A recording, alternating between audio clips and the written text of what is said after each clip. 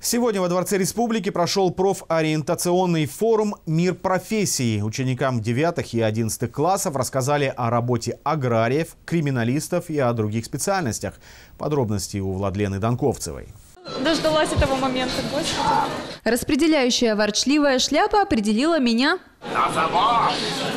Сегодня каждый старшеклассник на форуме «Мир профессий» смог испытать на себе творение студентов колледжа имени Гагарина, а еще повторить движение за милым желтым роботом Майклом Джексоном. Первый и второй этаж Дворца Республики превратились в мини-лаборатории колледжей и вузов. Студенты демонстрировали свои лучшие навыки, или, как тут говорят, hard skills, старшеклассникам, тем, кому предстоит в этом году выбирать будущую специальность.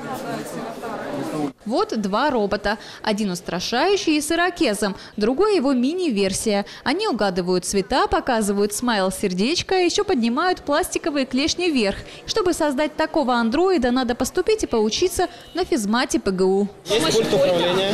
Да, потому что этот пульт, он не просто создается для движения, он именно программируется. Надо знать, как программировать саму, самого робота. А если мехатроники предпочитаешь флору и фауну, то можно заглянуть на эту выставку. Препарированная лягушка и рентген-снимки будущие ветеринары показывают старшеклассникам, как выглядят патологии у животных. Инородное тело, вот, а здесь просто перелом. Это цыпленок, у него много пальцев.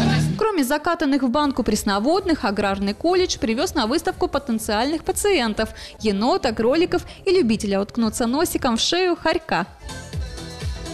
Если ни роботы, ни животные не интересны, то вот стол для будущих криминалистов и суд медэкспертов. Они не боятся испачкать руки, причем буквально. Сейчас тут проводят снятие отпечатков пальцев. Криминалистика – это новое направление в юридическом институте. А вот эти экспонаты не просто показательные муляжи, а настоящие орудия убийств. Это пистолет-ручка, достаточно грубая, но тем не менее представляет интерес. Это изъятое оружие тоже.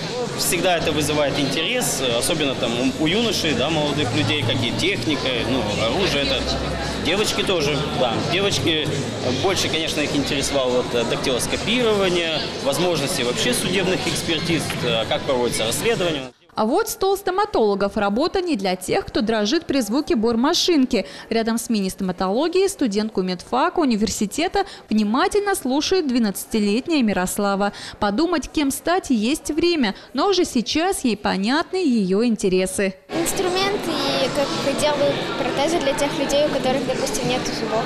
Всего на форум «Мир профессий» понять, как определиться с будущей специальностью пришли более 300 учеников 9 и 11 классов.